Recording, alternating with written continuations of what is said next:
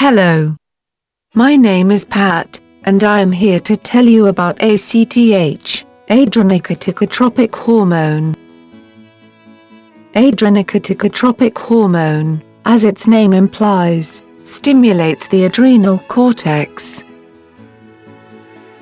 More specifically, it stimulates secretion of glucocorticoids such as cortisol, and has little control over secretion of aldosterone, the other major steroid hormone from the adrenal cortex.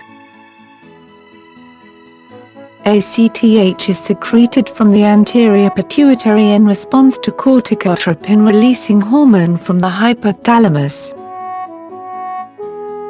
Corticotropin-releasing hormone is secreted in response to many types of stress, which makes sense in view of the stress management functions of glucocorticoids. Corticotropin-releasing hormone itself is inhibited by glucocorticoids, making it part of a classical negative feedback loop. Additional information on the role of ACTH in regulation of adrenal steroid secretion is presented in the sections on the adrenal gland and glucocorticoids. Within the pituitary gland, ACTH is produced in a process that also generates several other hormones.